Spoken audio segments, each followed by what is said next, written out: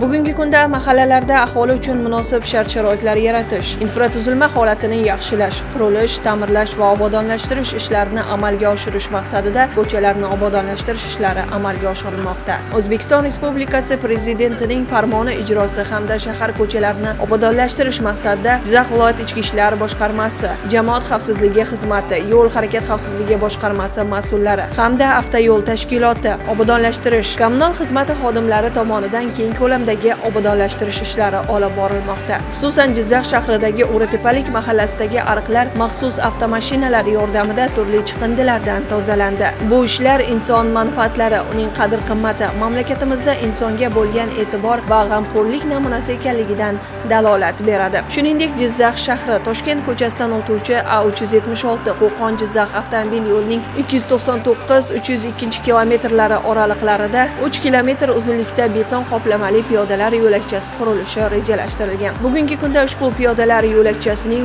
0.5 kilometr uzunlik beton qoplamali piyodalar yo'li qurildi. Bu kabi ishlar viloyatning barcha tumanlarida uyushqoqlik bilan tashkil etilmoqda.